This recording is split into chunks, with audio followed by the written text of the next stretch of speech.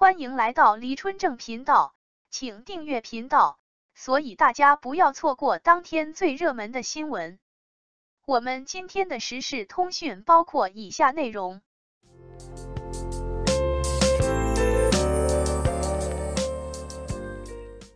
拜托你一定不要考古王一博，否则你一定会后悔的。刚听说内娱好几家大粉要求不要考古。说过去都是素人，没什么好看的，平淡无奇，一定要关注现在云云。而王一博家却是考古考的不亦乐乎，大粉还经常发文发图发视频，把王一博从小时候到现在的历史扒了个底朝天。我都好奇了，为啥差别这么大呢？王一博家底气是啥？怎么能这么坦荡无畏的？人吃五谷杂粮都有七情六欲，王一博能这么经得起考验，经得起一扒到底的考古，人的好奇心一被勾起来，就一发不可收拾了。回到二十五年前，九七年八月五日，王一博出生在了河南洛阳。作为独生子，享尽了父母姥姥的宠爱，也有些孤独。父母工作繁忙。小学的时候，就是中午回到家里，自己热饭，自己照顾自己。也有小时候不吃饭，姥姥满院子撵着喂，一个饺子给五毛钱的过往。按部就班、波澜不惊的长大，命运却在初中的时候发生了转折。喜欢上了跳舞，拼命努力，参加全国街舞比赛，一举进入全国十六强。被星探发掘，开始了背井离乡的学习生活。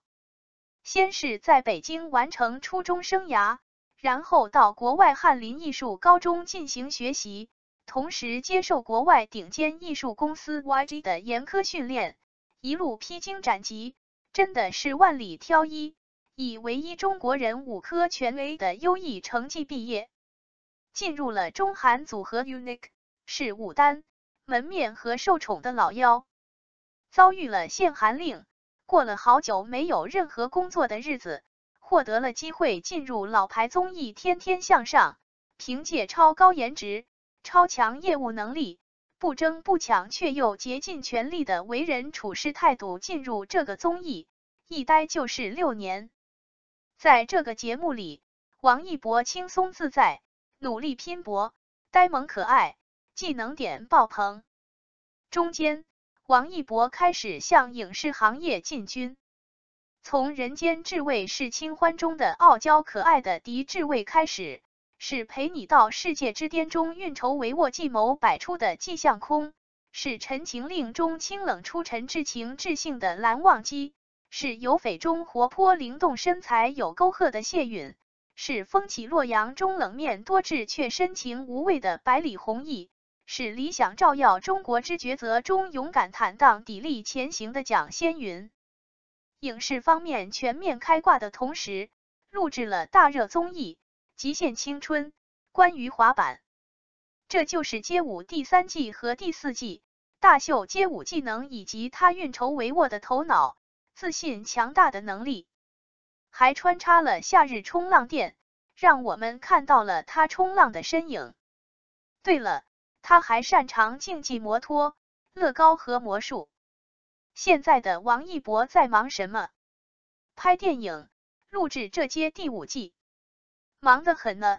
从今年过完元旦，基本上就没有出来过。除了策划物料，除了主流活动，你还见过他吗？这小子一心扎根剧组，等着经验绽放呢。所以。尽管经得起全方位、各侧面的考古，我也要郑重的劝告你，不要考古王一博，你会后悔的。如果考古，你会看到他从小到大的照片、视频和影像，你会看到他参加极限运动大汗淋漓摘下头盔的样子，你会看到他为滑板、街舞动作摔得鼻青脸肿，毫不在乎形象，你会感慨他从小帅到大。和父母长的一个模子，却又集中了父母的优点。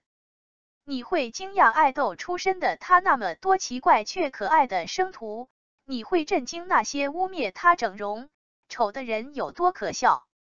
如果考古，你会看到他年少青涩的练习室时光，看到他哪怕得了心肌炎也不愿意放弃跳舞的倔强，看到他从没有好过的永远青紫的膝盖，摩托车摔车后的痛哭。看到独自逆流而上为自己讨个说法的孤勇，永远超过九十度的鞠躬，甚至是舞台上默默用膝盖擦去水渍，唯恐影响到别人的小男孩，你会看到他在片场别人休息的时候，他还拿着小镜子练习眼神。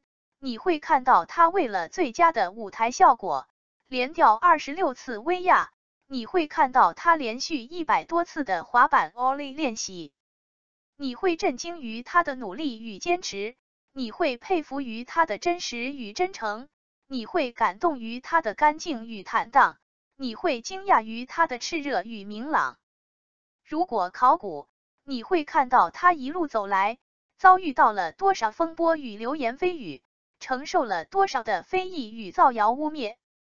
从八天八夜的案头造谣，到钩子解约一夜联动，从戒指风波。到河南水灾，从被曝假警到车内被装定位器，从颜值到恋情，从番位到实力，等等等等，只有你想不到的，没有网络黑子办不到的。而王一博凭借过硬的人品、超正的三观、超强的业务能力、超赞的为人处事态度，一路披荆斩棘闯了过来，虽然艰辛，却也坦荡。你会感受到他的干净炽热、真实真诚，你会佩服到他的清醒通透、谦逊低调，你会惊讶到他的强大内心、坚持不懈，你更会震惊于他真的是毫无黑点，经得起任何考证。所以，我再次郑重提醒你，不要考古王一博。一旦好奇心起，开始考古。你将会时间沦陷、相册沦陷、审美沦陷、颜值沦陷，都是他。你会不会后悔？一旦你开始考古，你将会后悔没有早点认识他。王一博提名最佳男配，实至名归。王一博作为如今最炙手可热的流量小生，进入电影领域也是红的一发不可收拾。他的《无名长空之王》热烈都是引发了极大的关注，他的演技也被观众看到，被提名金鸡奖最佳男配角，引发轰动。王一博作为顶流，进军电影领域仍是独一份的存在，他的号召力也是数一数二的强大，本身就拥有庞大的粉丝群体，再加上自己超高的颜值，再算上十分有灵气。并且将灵气表现出来，进行精彩演绎的演技，收获了一大波路人粉丝。对娱乐圈并不熟悉的观众也被他的演技、颜值吸引，才会让他的电影每次都是有口碑、有票房。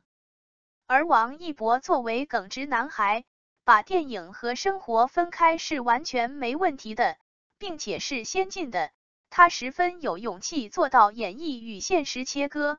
这样也让他的入戏、出戏很快，可以无缝衔接。毕竟演员总是要突破的，他尝试不同的角色，却不被角色所束缚，并且交出让粉丝满意、让观众满足的答卷，这才是真正的大男主。金鸡奖的最佳男配角提名是对他的认可，也是对诽谤者、抹黑者的一次重击。对此，你有什么想说的吗？欢迎大家留言讨论关注，感谢您观看视频。如果您觉得本时事通讯有用，请不要忘记点赞、评论和订阅。祝您生活愉快，充满活力！再见。